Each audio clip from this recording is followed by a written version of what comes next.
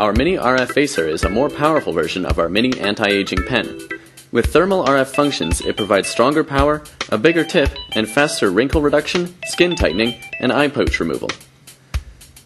It can be used at home or in the salon. 5 minutes per eye or face is suggested every day.